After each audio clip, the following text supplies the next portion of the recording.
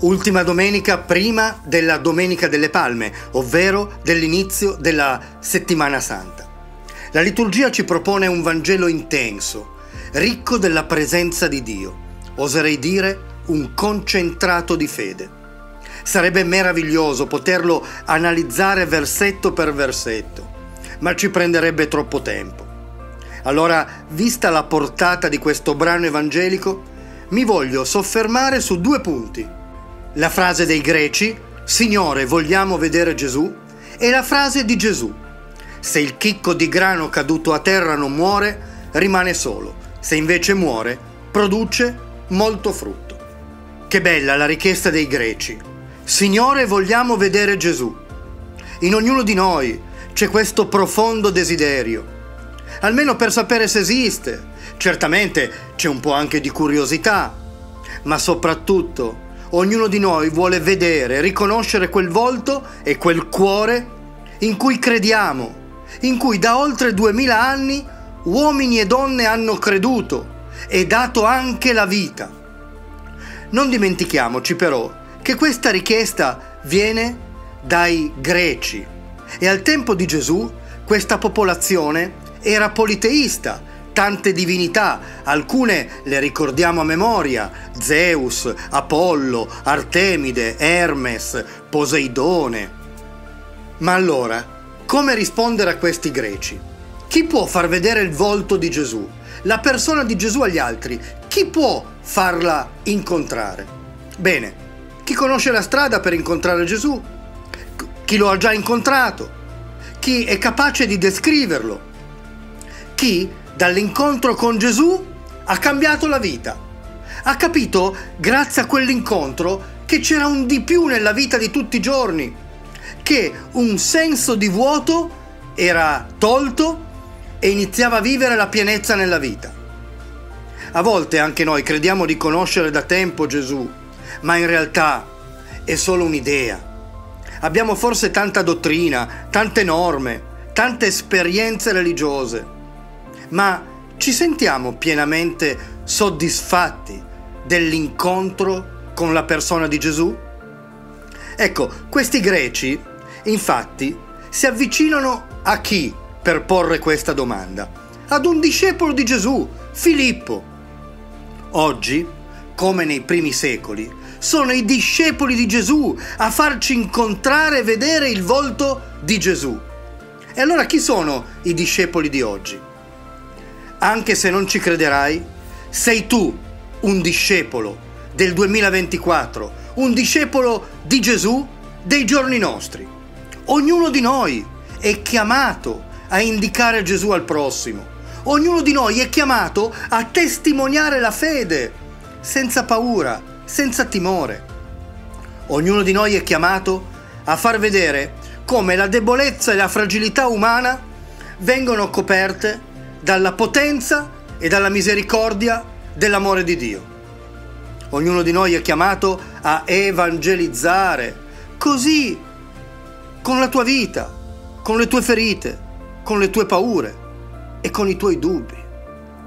Mi viene in mente una meravigliosa frase di San Giovanni Paolo II, che disse in Canada, a Toronto, il 27 luglio 2002.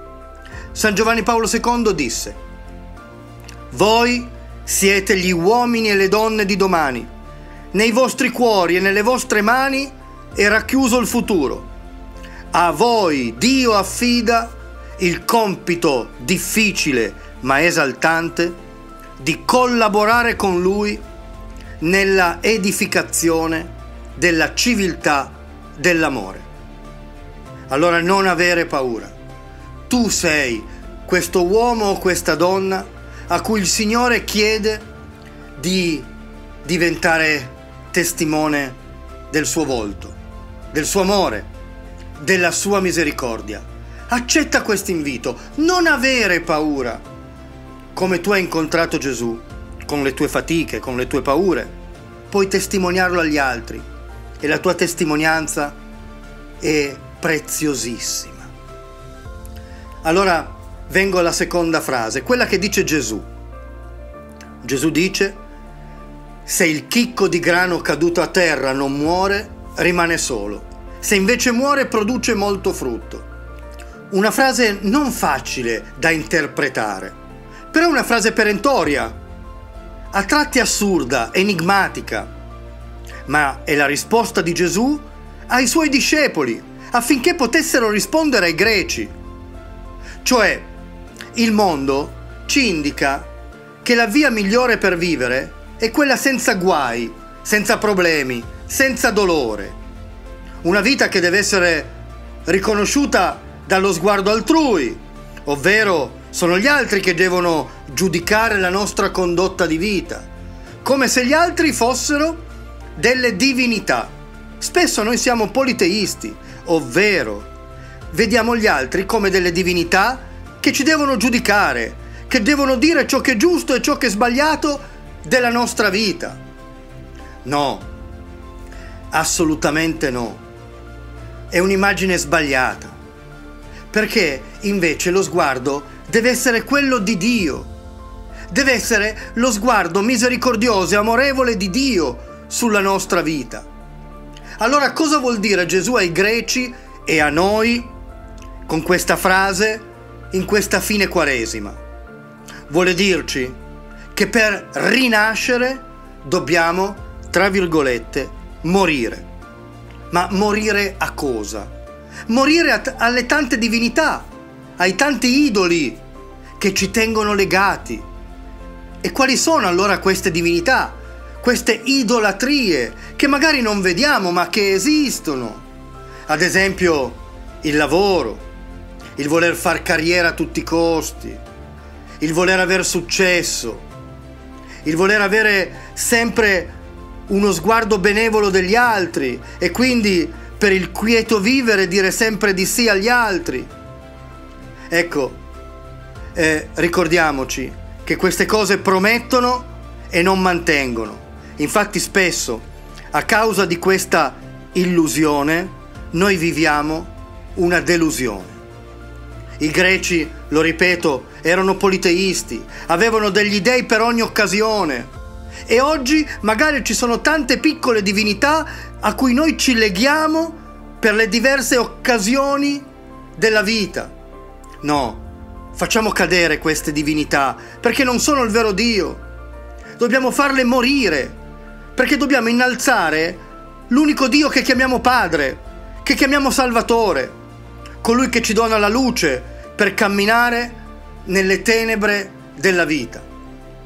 Noi possiamo veramente volare in alto nella vita, ma dobbiamo lasciare dei pesi inutili. Mi piace vedere che l'umanità, noi uomini e donne siamo come delle mongolfiere, che dobbiamo abbandonare delle zavorre che non ci fanno innalzare verso l'alto dei cieli, ma che purtroppo ci tengono troppo schiacciati a terra, illudendoci che un giorno o l'altro tutto cambierà. Quindi, alla luce di questa frase del Vangelo di Gesù e anche con l'esempio della mongolfiera, oserei dire che ci sono delle morti, tra virgolette, che ci fanno diventare santi, che ci fanno camminare verso il paradiso. Eccone alcune.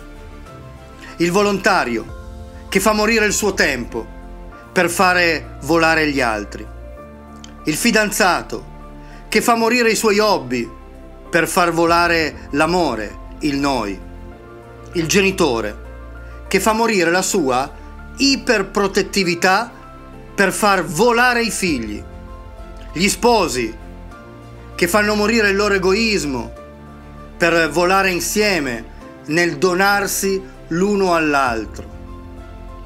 Il, il cristiano che fa morire la sua superbia per far volare in alto la sua fede. Tutte queste morti danno una nuova luce alla nostra vita perché ci fanno risorgere da quelle croci che ci tengono inchiodati alla mondanità di oggi.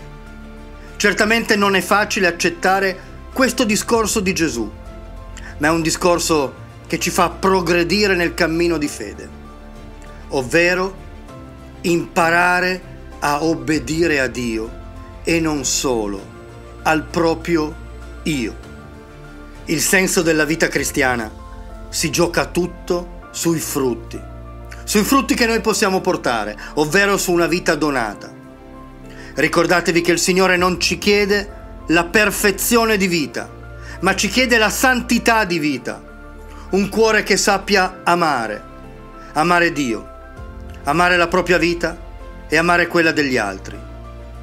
Una vita che possiamo vivere anche ammaccata, ma soprattutto riconosciuta, amata e perdonata.